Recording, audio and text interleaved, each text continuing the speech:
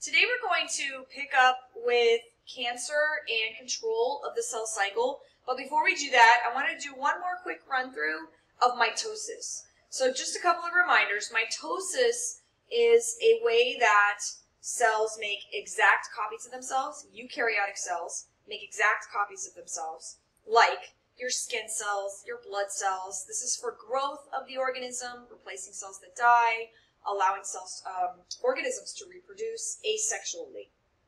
So also, um, one of the things that came up was how come they're always drawing four chromosomes in the cell? Not all cells have four chromosomes. Remember, our cells have 46. But I wanted to clarify that every species has a specific chromosome number. Um, so our diploid number, the number of chromosomes when they're all paired up, because we have two copies of each one, is 46. But horses have a different number. Uh, fruit flies have like eight. Um, some species of corn, I think, have over 300 chromosomes. So depending on the species, the number of chromosomes is going to differ. So when you see these cells and they always draw four chromosomes, it's not because they're, you know, every cell has four. And it's not true. Um, they're using four because by drawing four, it's enough chromosomes that you can see what's going on, but it's not so many that it's really crowded and difficult to follow what's going on. If we drew a human cell, there's 46. When you see real film footage of the onion root cell um, mitosis, the chromosomes are all piled on top of each other, so you really can't see the individual X-shaped chromosomes because there's so many of them. So that's why we're drawing four, for simplicity. So here's interphase. So really quick, let me go through and do some quick labels of all the parts that we would be looking at here. So this is the chromosomes all coiled up into, or sorry, uncoiled, I should say. Um, they're like a stringy mass called chromatin. When they coil up, that's when they're going to actually look like chromosomes. The DNA is going to coil very tightly, and then you'll see chromosomes. These are called centrioles. When the cell divides, these are going to move to opposite sides. Plant cells do not have these. That's why I commented that this is an animal cell, because actually plant cells don't have centrioles. This is the nucleolus, this black thing here. It has nothing to do with cell division, but it's one of the first things that's going to happen is that that's going to disintegrate. This is the nuclear membrane, which is also going to disintegrate when this cell starts to divide. And we are not drawing all the other cell parts, but they're still there. We're just not drawing them because the focus of cell division is going to be on the chromosomes, so we're focusing in on that. But in reality, there are mitochondria, the rough ER, the Golgi bodies, the ribosomes, all those parts are still there. We're just ignoring them because, again, it would distract from what's going on. All right, so let's walk through this really quick. So in prophase, here's what's going to happen. Our nucleolus is going to disappear. The nuclear membrane is going to break down.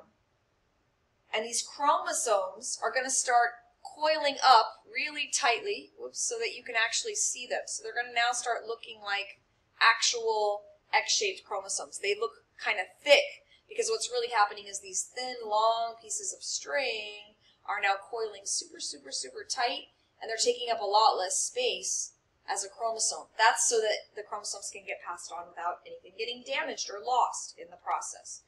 Those centrioles are also going to start moving towards opposite sides. So you're going to see the centrioles sort of start heading towards, they're going to call those two sides poles, and you're going to see these spindle fibers start to appear. Or sometimes it's called the spindle apparatus. So these lines are going to sort of start coming across the cell.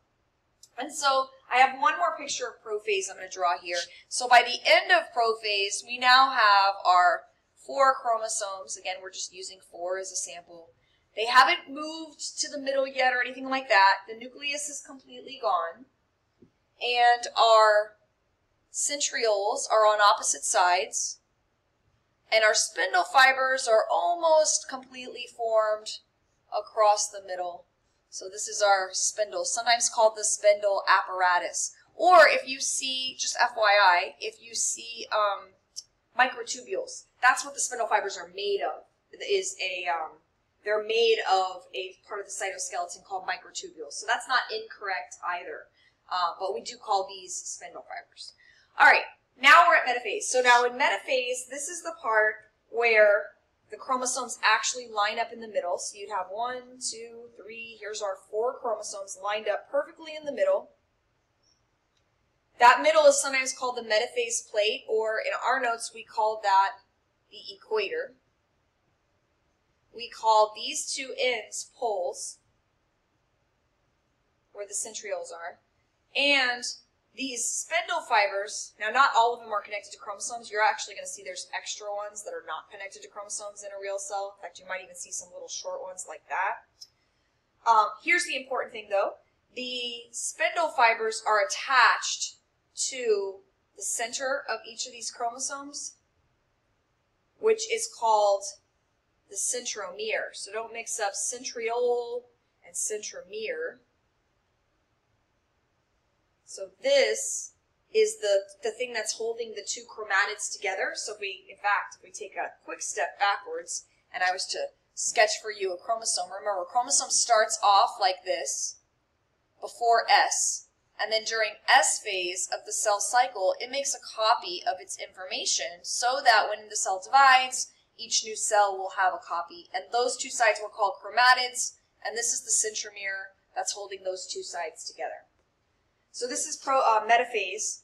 Anaphase, these chromosomes are actually going to start moving to opposite sides. So the spindle fibers pull, they really should probably be facing that way because they're being pulled by their middle they are going to get pulled to opposite sides of the cell. So imagine now, here's our spindle fibers that are shortening.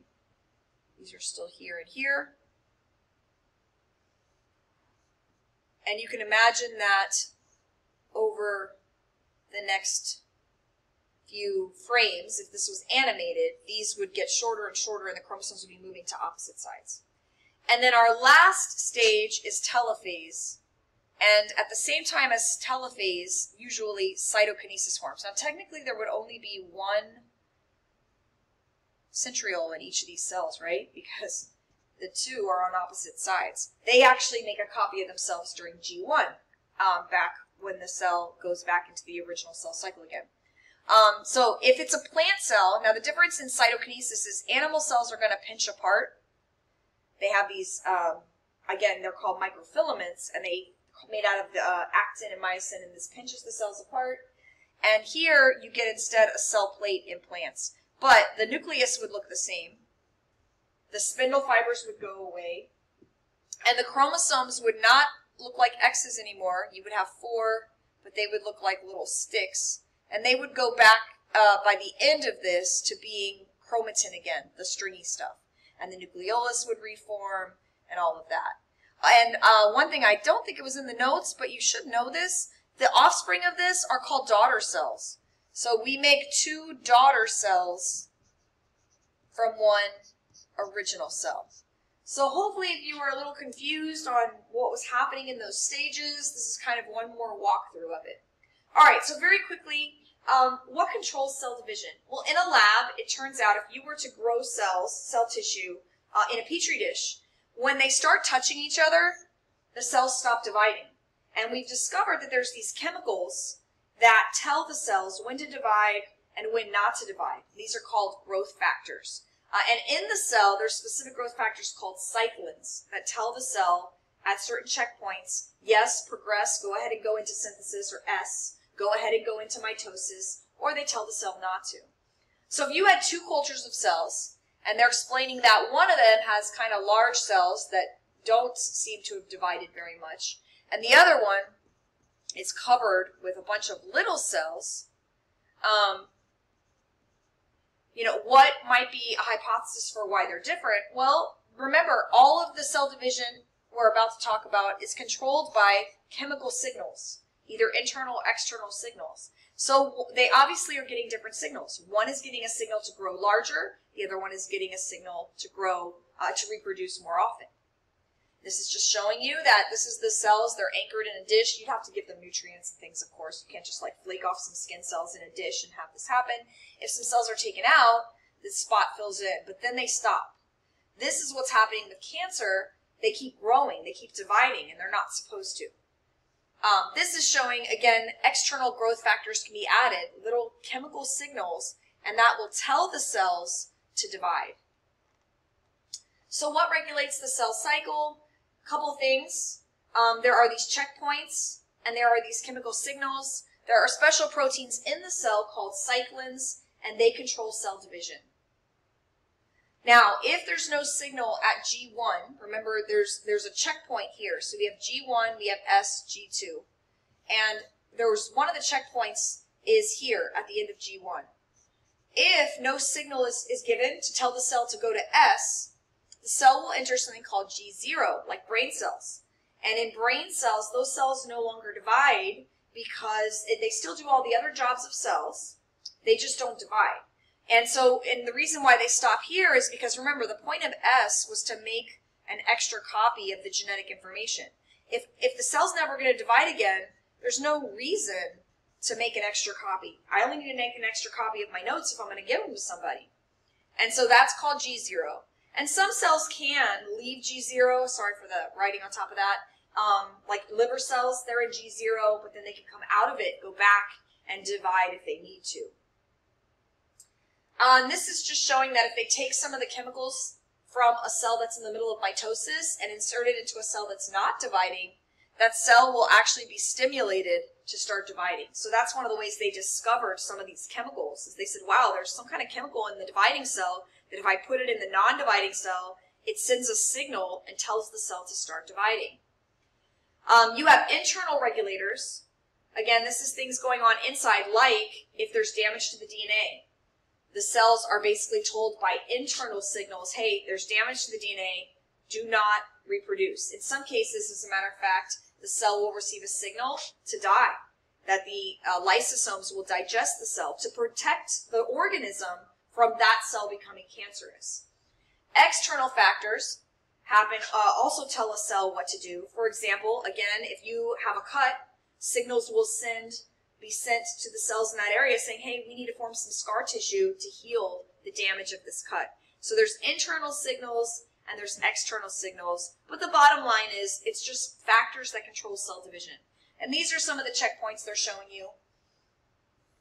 So if there's a problem with the DNA or something like that, a cell might be told not to go past this point. If more cells are needed, it might tell the cell to progress. At which of those checkpoints would the chromosomes be sister chromatids? Well, if we go back, remember in G1, the chromosomes are just sticks. So definitely not here. During S, the chromosomes would now form those X's, and they would stay that way in G2. So at this checkpoint, the G2 checkpoint, the chromosomes would consist of two chromatids. They would be duplicated chromosomes. By the time you get to the end of mitosis, they've split again, so they would not be duplicated there. And this is just showing uh, an example. This is kind of complicated. You don't have to know it of how growth factors could be uh, send a signal to a cell to tell it to either divide or not divide. So what cancer is, a tumor, is where cells are dividing uncontrolled. Why are they doing that? Because there's there's something wrong with that whole signaling process. Um, the protein that's supposed to be checking for damage isn't checking correctly, so the cell is dividing when it should have basically gone through apoptosis. Uh, the cell is making too much of the cyclins that are telling it to divide, so it's just dividing all the time. A lot of times this is because of mutations, some kind of carcinogens, things like ultraviolet light, x-rays, um, mustard gas, uh, chemicals from smoking can cause damage to the DNA that screws up the cell cycle. The reason that chemotherapy works, radiation chemotherapy, they, they stop cell, they kill cells that are dividing. And since cancer cells are pretty much just dividing and doing nothing else, it's going to hurt the cancer cells more than it would hurt any normal cell. But you are going to have some damage to your normal cells too, because some of your normal cells are dividing sometimes, like the cells making your hair, or blood cells, for example. Um, and this is breast tissue, and they're showing a tumor. So it starts off in one little location, but if the person doesn't find it, because it may be very tiny, it may start to spread, and metastasis or malignant cancer is where this would break off and actually travel to other parts of the body. And the reason tumors are so dangerous is that these cells themselves, they're probably not making any toxic products or anything, but the problem is they are taking up space and they start squashing and damaging and using up all the blood supply for the good cells around them. Especially if you had, say, brain cancer, where the tumor's growing and it's crushing brain cells, you might start having seizures or have paralysis or blindness or something like that. So that's where we'll stop.